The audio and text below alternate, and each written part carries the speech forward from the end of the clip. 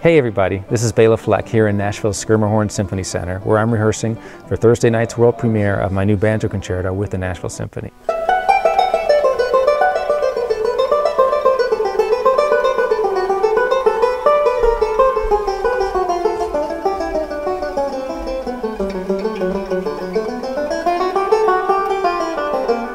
I'd like to invite you all to experience this exciting moment with me, so we're presenting a free video webcast of the entire concert. To watch, simply go to nashvillesymphony.org Thursday night, 7 p.m. Central.